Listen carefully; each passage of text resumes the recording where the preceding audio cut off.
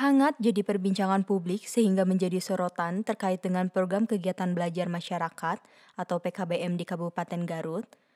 Diduga banyak PKBM yang memarkup peserta didiknya supaya bisa mendapatkan bantuan operasional standar pendidikan atau BOSP yang besar, dan terbukti ada beberapa PKBM di Kabupaten Garut yang mendapatkan bantuan hingga ratusan juta rupiah dari mulai paket A, B, dan C. Dengan adanya markup peserta didik yang jadi sorotan publik, Media Suara Rakyat Indonesia menemui Kepala Bidang atau Kabit Kabupaten Garut, Yusuf. Beliau memberikan tanggapan terkait adanya oknum kepala sekolah yang mempunyai PKBM yang melakukan permarkapan peserta didik dengan sengaja, maka izin operasional PKBM-nya akan dicabut.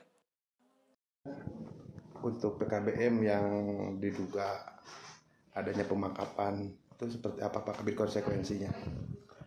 Kaitan dengan PKBM yang melakukan markup atau dengan sengaja misalkan melakukan manipulasi warga belajar dengan sengaja tentu ada konsekuensi konsekuensi kaitan dengan masalah perizinan hmm. nanti di dalam pasal pasal dalam izin itu ada kalimat yang menyatakan apabila Demikian Harry Sri TV dari Garut mengabarkan.